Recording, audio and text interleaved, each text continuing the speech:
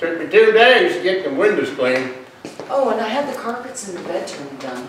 I have the receipt for it right here. Oh, it looks great, guys. It looks wonderful. I just need you to sign here. And the date there. And we're good to go. Yes. Thanks, you guys have a great day. Uh, Yeah. the deposit?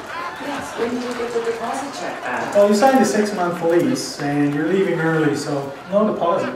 But our lease expires tomorrow. I I need those to be here today because you're too busy tomorrow. Come on, guys, I gotta don't get my son to school, We've gotta get out of here. I'm Toby. You can't get away with this. No, no, you're not in front of the boy. Boy, there's a man dressed up look like a boy. Oh, he's six years old. We gotta get out of here before the next tenants arrive. You're 96, come on, let's go. Look at him. He got facial hair and everything. Look, It's a mercy. skating condition.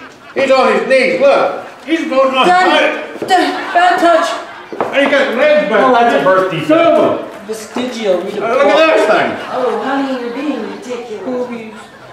These guys are a couple of scam artists. Scam artists? come on now. I'm an honest businessman, trying to make a living in this city. This is my son Toby. I've built a reputation in this city for over 50 years, and I've been doing this all my life. I would never stoop so low as to dress a man up like a little boy, want to make 40 bucks a heart. way? I've got a reputation in this city to uphold. I've been doing this for over 25 years. Now, could you guys just please leave? You ought to be ashamed of yourself. Uh, I'm sorry. Whatever. Let's go.